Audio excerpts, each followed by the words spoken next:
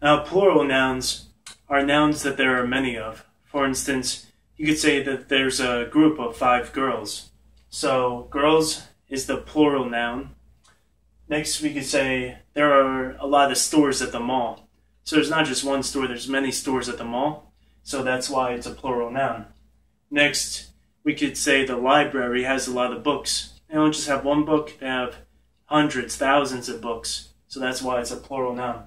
Last, dogs. You could say that uh, Mr. Jones down the street, he owns four dogs, all different kinds. So, dogs is the plural noun version of dog.